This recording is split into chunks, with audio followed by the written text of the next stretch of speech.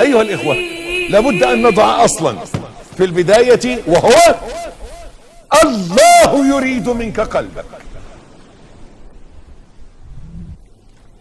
لا تنسى هذه القضية أبدا. ماذا يريد الله منك؟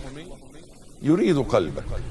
يقول رسول الله صلى الله عليه وعلى آله وصحبه وسلم إن الله لا ينظر إلى أجسادكم ولكن ينظر إلى قلوبكم.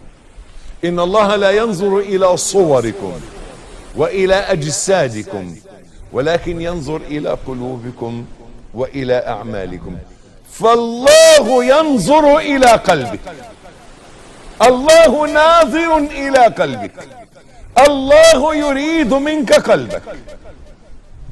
لذا قال الله جل جلاله أيها الذين آمنوا استجيبوا لله وللرسول إذا دعاكم لما يحييكم واعلموا أن الله يحول بين المرء وقلبه وأنه إليه تحشرون.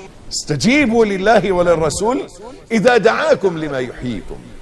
واعلموا أن الله يحول بين المرء وقلبه. قال الله جل جلاله أولم يهد للذين يرثون الأرض من بعد أهلها أن لو نشاء أصبناهم بذنوبهم ونطبع على قلوبهم فهم لا يسمعون.